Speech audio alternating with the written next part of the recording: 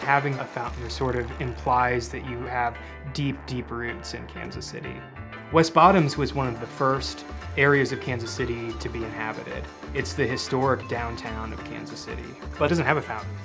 It's the place where artists have been able to think and experiment and do ideas that are really interesting and, and sort of pushing the envelope of what it even means to be an artist. These old industries moved out and it gave artists freedom to explore, to experiment. That's inspired a lot of people to try to do things they might not have had the courage to do in other areas.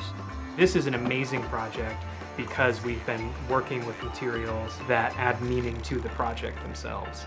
We wanted to use materials that were referential to the kind of industrial fabricating kind of history of the community.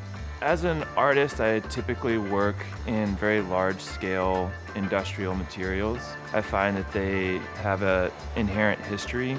The base of the fountain is uh, limestone that is quarried in the region. The large steel background is from a water tower that was cut apart in sections and meticulously labeled. We're embedding actual pieces of train track that we're getting from Kansas City Southern. Our city is being affected in a very positive way by the art and cultural community. There's been a little bit of like, what the hell are you guys actually doing down there? So I think the neighborhood's going to be pleasantly surprised when this thing is unveiled. I really like making art for people that aren't in the art world. It's not limited to a, a gallery or a museum. It's so architecturally strategically placed that it really is the first thing that greets you at that base of the bridge. Having this fountain down there is a really cool signal that, that something's maybe changing.